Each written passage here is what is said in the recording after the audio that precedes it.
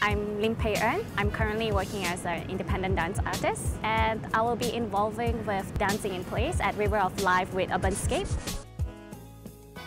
It started off when my parents enrolled me in ballet class as well as rhythmic gymnastics and that's where I grew my interest when there was competitions and through my achievements and goals got me more passionate about dance.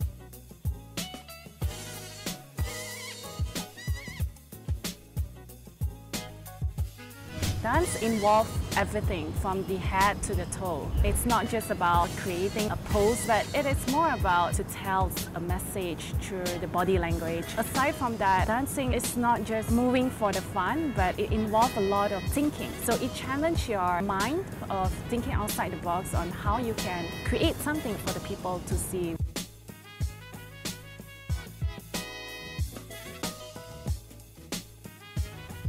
I am a dance producer, but for Urbanscapes, I will be running Dancing in Place, which is an outdoor site-specific dance festival. I'm also the head of MyDance Alliance. And we've been running Dancing in Place as a project since 2009. We have 12 different teams. As they're making the work, they respond very sensitively to the actual place where the work is going to be shown. This is not the place where you usually see dance happening, like in a theatre, but it's in an outdoor space. The first time Dancing in Place is going to be part of Urbanscapes at the River of Life. And obviously this is where Kuala Lumpur began. It's an incredibly historic site. It's an incredibly meaningful site for the general history of Kuala Lumpur.